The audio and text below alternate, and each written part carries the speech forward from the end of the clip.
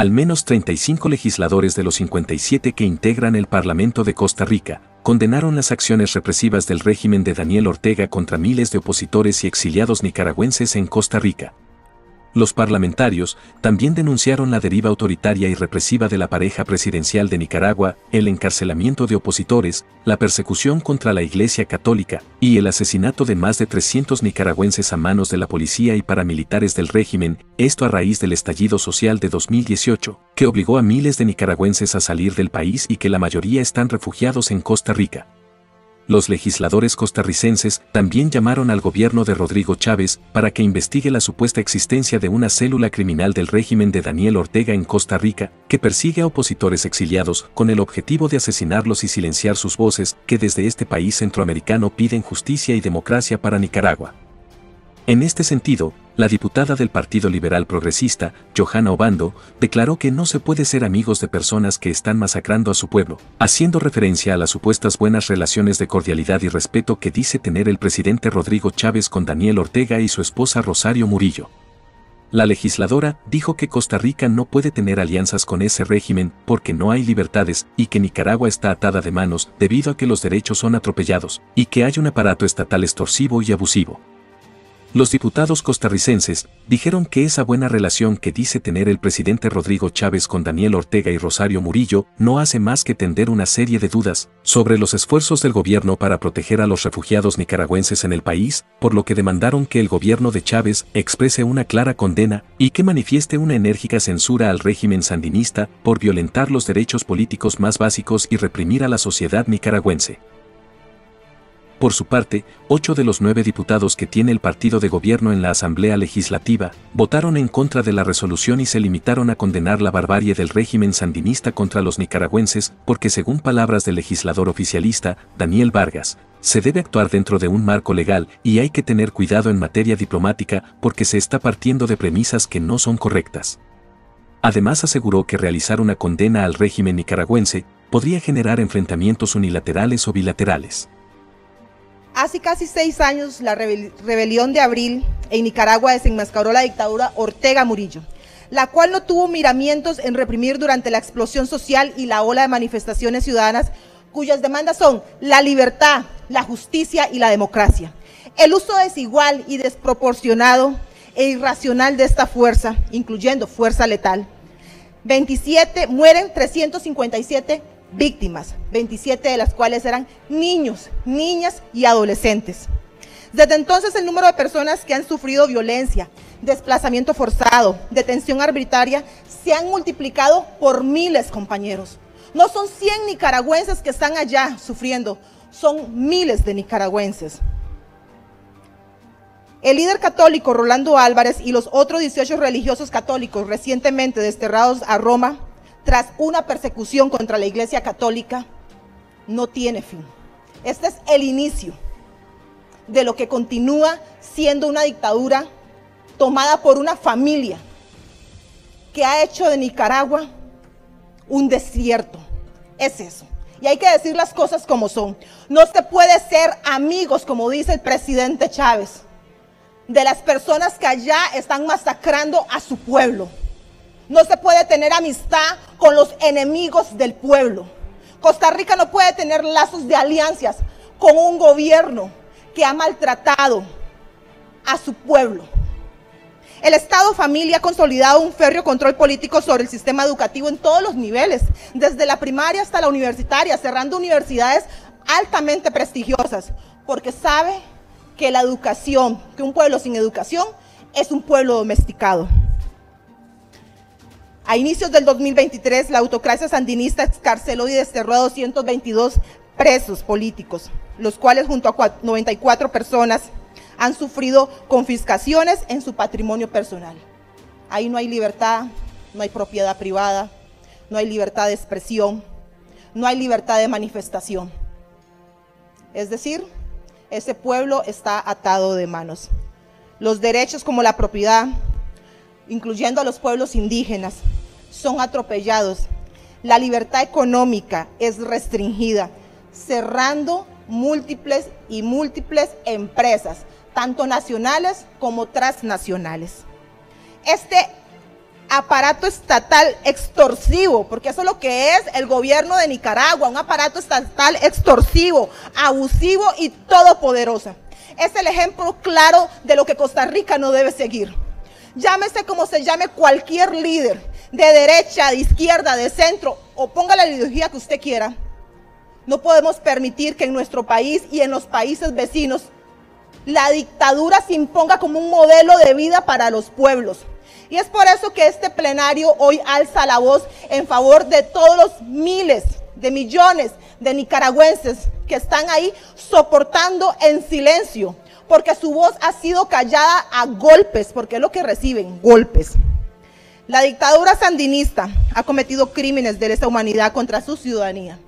Sí, señores y señores, sí, presidente Chávez, aunque usted diga que tiene muy buenas relaciones con doña Rosario y don Daniel, han cometido crímenes. Sus manos están teñidas de sangre y eso hay que decirlo abiertamente. Sus manos están teñidas de sangre.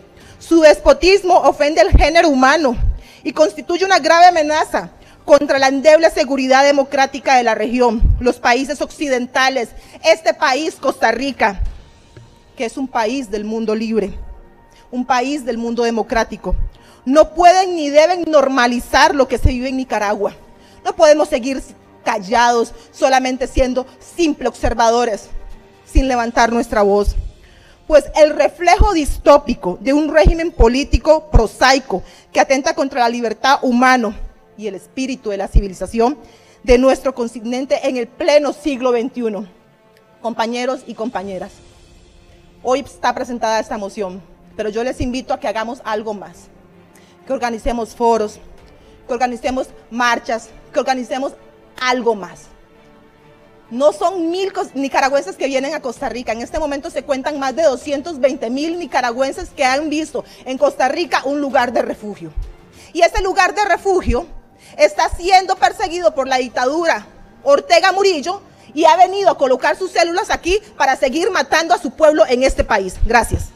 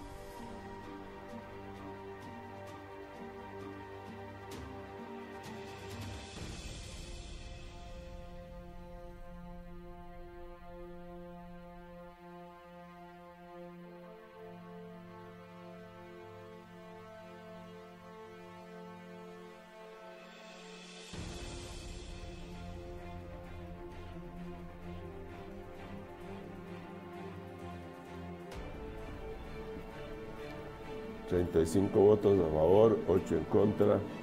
Aprobada abrir puertas. Quiero agradecerle la sensibilidad a los compañeros del Partido Liberal Progresista, porque siendo yo todavía estudiante de la Universidad de Costa Rica y parte de la Federación de Estudiantes en el 2018, en abril del 2018 empezamos a recibir a las primeras personas estudiantes exiliadas en Costa Rica, quienes llegaban aturdidas realmente porque de un día para otro su vida había cambiado drásticamente.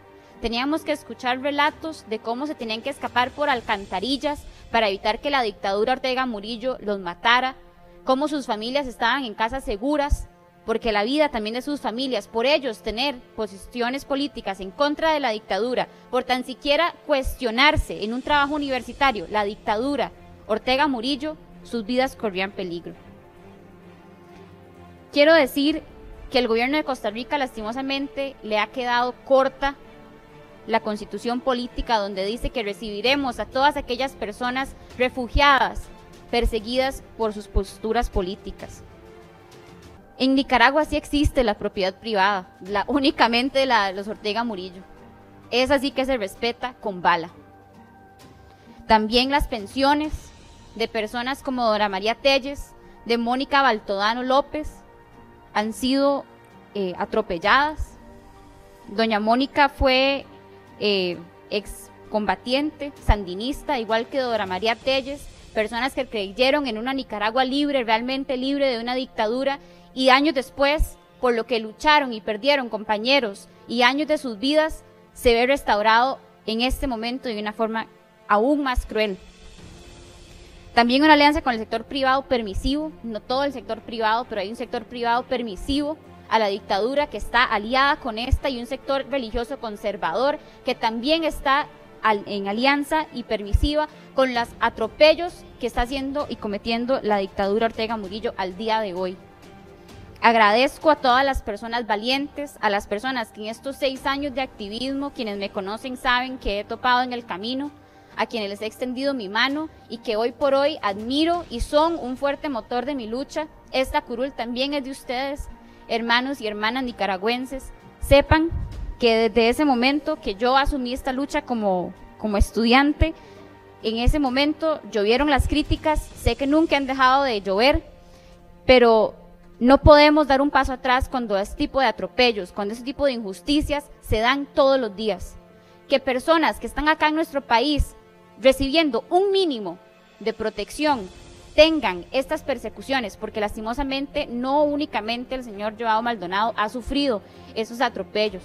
El señor Magdiel Galeano, amigo cercano, también ha tenido que emigrar porque los organismos de, organismo de investigación judicial y también los eh, otros mecanismos de seguridad que deberían de defender su vida han sido violentados y no se le ha escuchado sus denuncias a pesar de acudir al organismo de investigación judicial personas adultas mayores que están en este momento en nuestro país buscando defensa han sido dejados sin defensas y básicamente les han cerrado la puerta en la cara diciéndoles que eso les podría pasar a cualquier otra persona costarricense.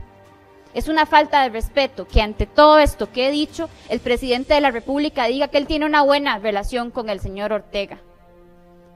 No se sienta a la mesa y no se tienen conversaciones con dictadores, señor presidente. Yo sé que usted sueña con ser uno, pero aquí esos, esos juegos no van y no vamos a permitirlo. Gracias, señor presidente. Tiene la palabra el diputado Vargas Quiroz Daniel. Muchas gracias, señor presidente. Eh, inicio esta intervención diciéndole que nosotros como fracción oficialista y el gobierno de la República condena en definitiva cualquier atentado o cualquier acto de terrorismo y siempre lo condenaremos. Sin embargo, se debe actuar dentro de un marco legal internacional que es importante conocer y respetar. La moción que se está conociendo presupone algunos aspectos que son de, de cuidado en materia diplomática.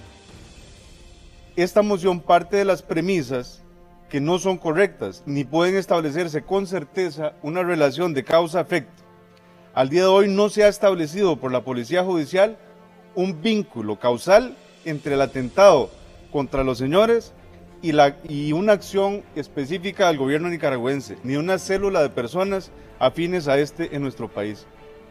Pretende también la moción una clara intromisión de la Asamblea Legislativa en, en la competencia constitucional que le ha sido asignada al Poder Ejecutivo respecto a la dirección de las relaciones internacionales del país pretende también endilgar la responsabilidad al gobierno nicaragüense por los hechos ocurridos. Costa Rica se ha caracterizado por hacer este tipo de planteamientos en el marco de los mecanismos multilaterales, particularmente desde la OEA, donde estas posiciones suelen articularse desde los órganos políticos creados para tales efectos y evitar así enfrentamientos unilaterales o bilaterales que tienen nula incidencia. Por otro lado, no está claro que en las protestas del 2018 hayan acumulado 600 mil exiliados. Eso parece ser más bien una realidad de décadas eh, de, de acumulado. Hay que ser más precisos con la cifra. Lo más correcto sería hablar de los fallecidos y de miles de refugiados que sí fueron producto probablemente de estos atentados. El párrafo confunde también las, figuras de asilo y de refugio. Se están tergiversando, perdón, por otro lado, las palabras del señor presidente dadas a medios de comunicación sobre su relación con el presidente Ortega. El señor presidente ha sido enfático en cuestionar la situación de los derechos humanos y lo que ha tratado es de mantener abiertos los canales de comunicación para atender la intensa y diversa relación entre los dos países, considerando además que la frontera con Nicaragua es la frontera a través, circulan cientos de contenedores con destino al resto de Centroamérica. Entonces no podemos ser eh, obcecados ante una posición cuando las repercusiones pueden ser muy perjudiciales para nuestro país. Consideramos también que sigue la malintencionada referencia a escasa aclaración, y lo pongo entre comillas. No es correcto usar ese término para el gobierno, pues el gobierno no puede referirse a un proceso que está en fase investigativa por otro poder de la República.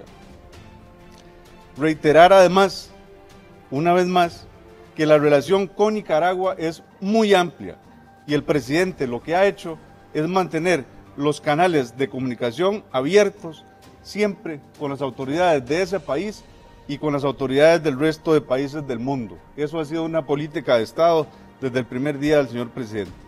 Así las cosas, nuestra fracción recomienda revisar lo votado y votar negativamente la moción recientemente conocida.